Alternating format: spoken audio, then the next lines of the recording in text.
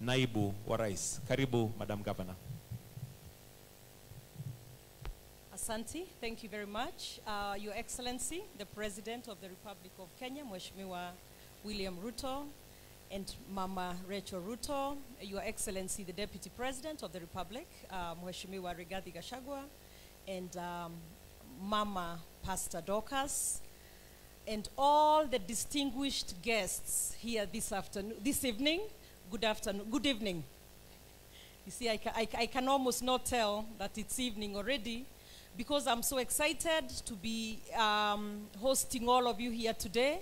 So, really, without too much ado, mine is to welcome you here to Nakuru today, but also to thank the President for choosing Nakuru for this great New Year's Eve dinner.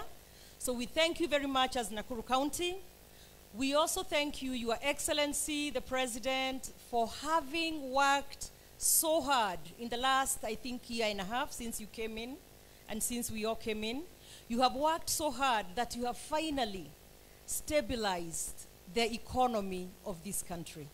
So we are excited as we get to 2024 because you have placed the country ready for takeoff. And I am sure that great things will be happening in 2024 and beyond. So asanteni sana. Thank you for coming to Nakuru.